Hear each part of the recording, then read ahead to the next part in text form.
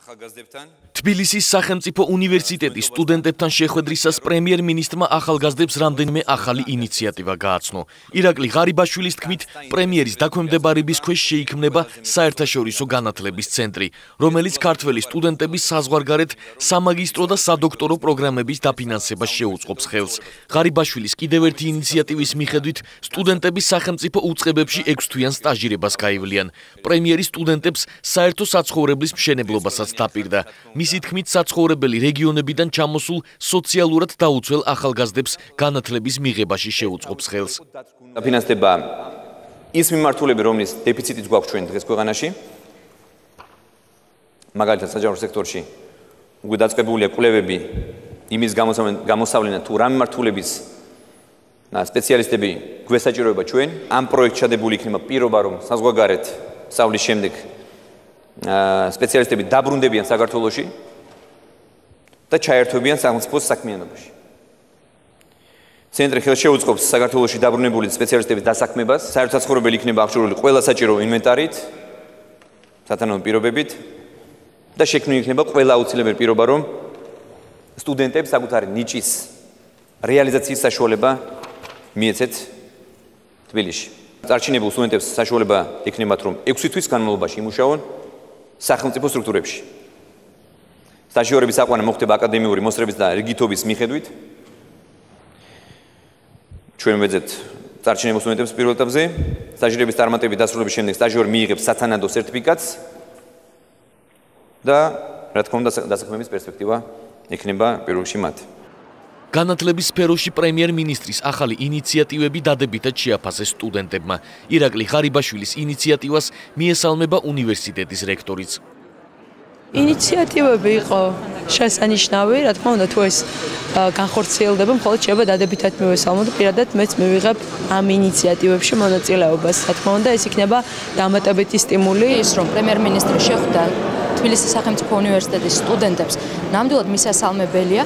აქ დაისვა საინტერესო და მწვავე შეკითხვები ზოგიერთ მათგანზე პრემიერმა გასცადა მაკმაყოფილებელი პასუხი თუმცა უნდა აღინიშნოს რომ იყო გარკვეული შეკითხვები რომელზედაც არც თუ ისე ნათელი პასუხები გაიცა პრემიერ-მინისტრის ინიციატივა რომ აშენდეს ახალი საერთო-საცხოვრებელი სტუდენტებისთვის, ეს არის მხოლოდ და მხოლოდ მისასალმები.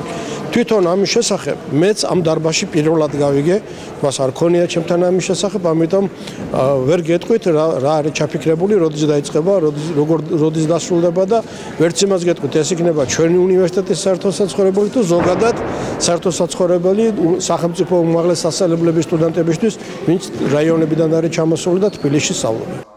განათლების მინისტრის თქმით პრემიერის ინიციატივებზე მუშაობა უკვე დაწყებულია. თამარ სანიკიძე საერთაშორისო განათლების ცენტრის შექმნის იდეასაც გამოიხმაურა და აღნიშნა, რომ ცენტრისთვის თანხას პრემიერი საკუთარი რეზერვიდანაც გამოყოფს. სხვადასხვა სამინისტროებში იყო მსგავსი პროგრამები, მაგალითად ჩვენ გვქონდა ცოდნის კარის პროგრამა, კულტურის სამინისტროს ქონდა გარკვეული ფონდი ამისათვის და კიდევ სხვადასხვა უწყებები. შესაბამისად, პრემიერი გამოყოფს ამისთვის თავის საკუთარი რეზერვებიდანაც თანხას მოხდება ამ თანხების აკუმულირება და უფრო ისეთი შეჯერებული ვერსია იქნება ამ პროგრამის განათლების სფეროში არსებულ პრობლემებს ეხებოდა სტუდენტების კითხვების დიდი ნაწილი.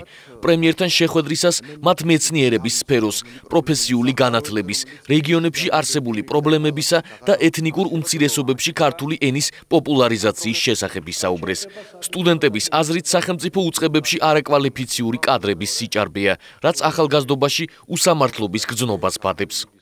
ხელს შეუწყობთ თქვენაერ ნიჭიერ ახალგაზრდებს წარმატებაში, იმიტომ რომ დღეს მაგალითად სხვადასხვა სამინისტროებში ეს თქვენი მინუსი არ არის მესმის 90-იანებიდან მოყოლებული სენი არის ეს დღემდე განუკურნებელი სამწუხაროდ გადაჭედილია სხვა სხვა სახელმწიფო უწყებები, ყავის მომდუღებლები და არაფრის გამკეთებლები. კარგი ფილოსოფოსი, რომელსაც არანაირი განათლება არ აქვს სამედიცინო სფეროში. შეიძლება იყოს კარგი ექიმი, როგორ ფიქრობთ? ვის გულისხმობთ? ჩაოლებრო, რომ კარგი ფილოსოფოსი, რომელსაც არანაირი განათლება არ აქვს სამედიცინო სფეროში. მე არ ვიცი მის გულის თუ გაქვს რაიმე კონკრეტული მაგალითი, იმიტომ რომ კითხვა ვერ გავიგე უბრალოდ. კითხვა იმიტომ გამიჩნდა, როდესაც ხედავ ფეხბურთელს ენერგეტიკის ministrად. როდესაც აა როდესაც შინაგან საქმეთა ministri არ არის იურისტი. როდესაც გენერალურ პროკურორს ხედავ დამნაშავეთ. უსამართლობის შეგრძნება მიჩნდება, რომ საერთოდ განათლებას აზრი ეკარგება. აი ამიტომ გამიჩნდა ეს კითხვა. დიდი მადლობა. თქვენი мотиваცია გასაგებია, თქვენი სურვილების გასაგებია, ახლა გიპასუხებთ ძალიან მოგრეთ. არ ვიცი, კომპეტენტურობის საკითხი დააყენეთ ხო სხვა სხვა მინისტრების. ამაზე რა ვიცი, როგორ გიპასუხოთ ახლა მე მგონი ეფექტურად მუშაობენ ისინი ეს ადამიანები და რაიმე კითხვები თუ გაქვთ მე ზიანობით მოვისმენ. სტუდენტებთან შეხვედრა დაახლოებით 2 საათს გაგრძელდა. ირაკლი ღარიბაშვილმა მათ კიდევ ერთი სიახლე გააცნო.